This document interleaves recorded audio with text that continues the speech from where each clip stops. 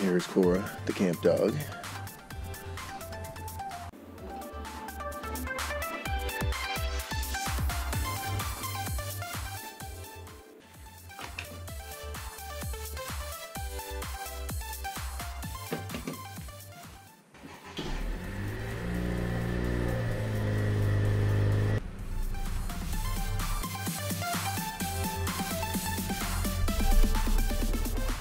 Hey, what's up, YouTube? Uh, watching Car Addict again, hopefully again. Um, anyways, I'm finally getting out of here. Uh, it's about the last day of vacation, and I kept meaning to do this, but uh, like yesterday, I was gonna go, and then it was the last day my niece was here. So instead of me leaving by myself, we all went to Shell Beach and uh, hung out there all day. So then just things like that have been happening. So everybody's left except for me, my parents, and my daughter. So and my uncle. Um, they're watching the kid for me. So I'm heading into town, get something to eat because the food is delicious and cheap. The other day we were in there, uh, nine tacos, uh, chips and guacamole, three drinks, and beans and rice. 15 bucks. So, and the food is really good. Um, after that, I'm gonna head north of town and open this thing up and see what she does. I've only got E22 in it right now, and I can't put any more gas in because it'll lower it, and I can't get anything here to raise it. So I won't be on like the real high power map, so it probably won't pull as high or pull as hard up top.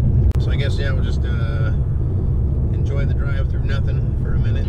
I don't know what kind of person you are. You might think that this is just shitty out here or absolutely beautiful. I like a desert more than I like a forest. Um, I like nothing more than a lot, and I don't like people that much. So down here, this is like paradise to me.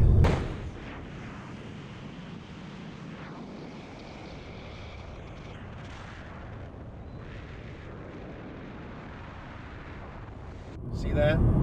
Nothing around, just the way I like it.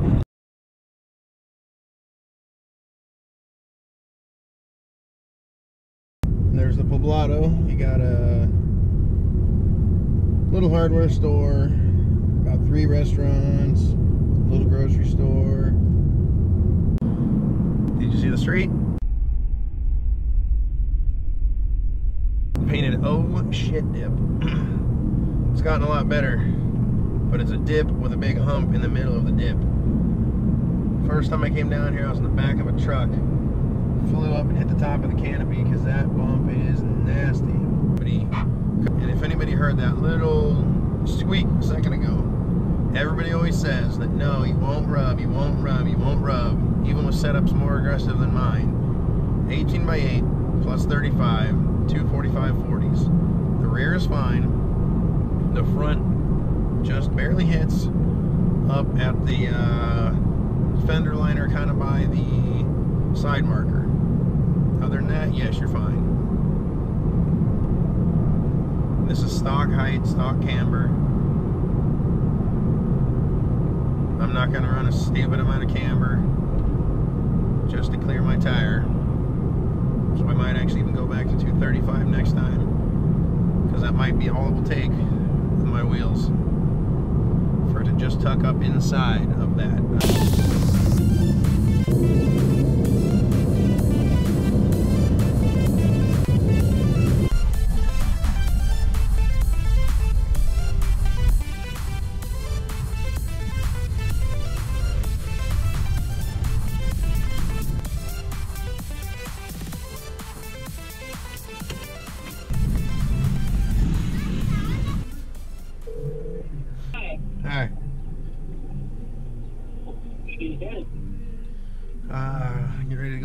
145? Getting ready to go 145.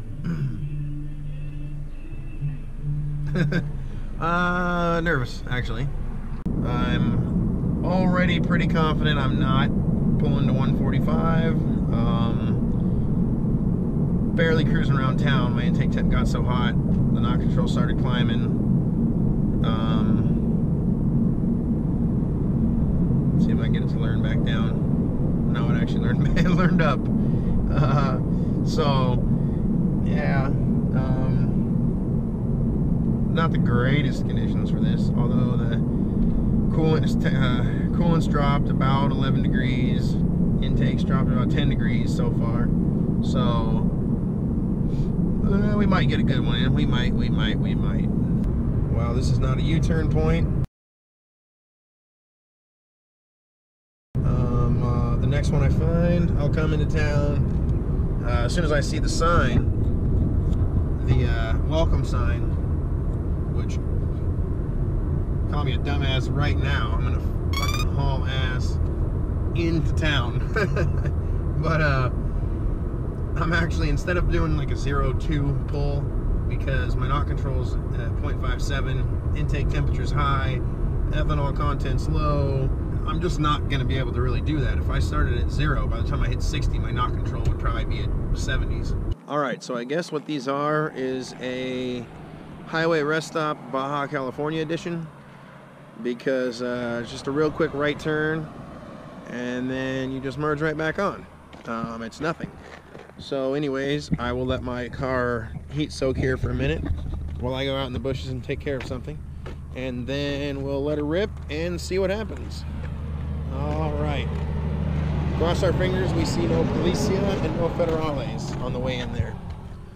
Let's see what happens here. And so there's no trickery, that is kilometers. And you'll see the numbers get smaller in a second.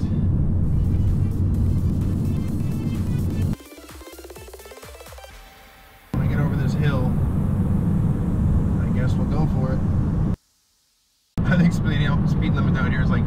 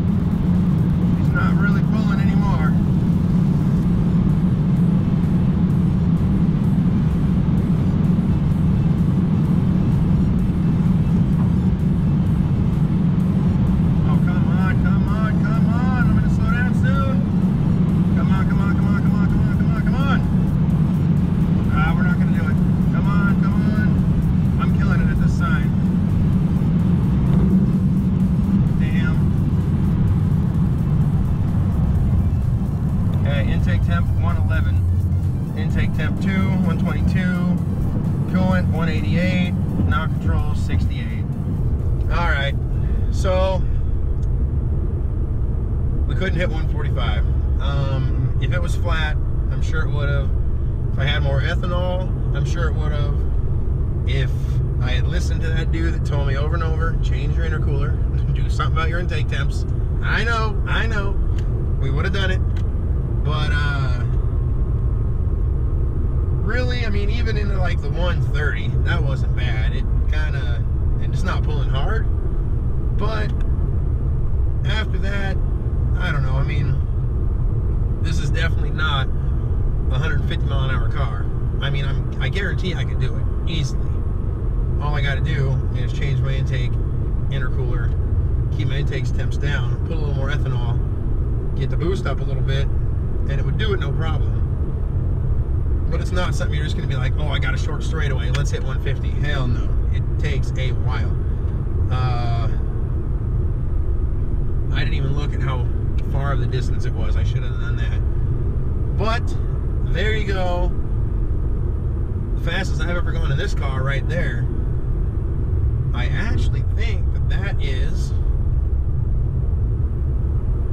it makes me sound not quite like a car addict, but I think that's actually the fastest I've ever gone on four wheels.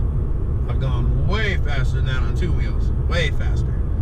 But it also does it in a way shorter distance when you weigh 140 pounds and ride an R1.